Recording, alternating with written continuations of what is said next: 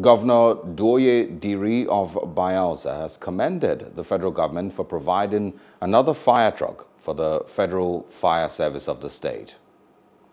Diri gave the commendation while inaugurating the fire truck at the Government House Yenagoa on Wednesday. The federal government had earlier this year given a fire truck to the fire, Federal Fire Service in the state. The governor thanked the Controller General of the Federal Fire Service, Mr. Liman Ibrahim. He also praised the Deputy Controller General, Mr. Samson Karibo, for facilitating the process.